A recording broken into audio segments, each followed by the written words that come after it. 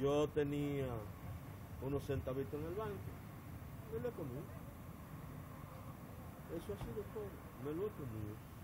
Pero esta gente no está. Porque... Eh, estamos arrancando ahora, vamos a ver si se ha picado. No se ha picado nada todavía porque la gente ya tú sabes. Eh, vamos a esperar y a ver lo que se hace.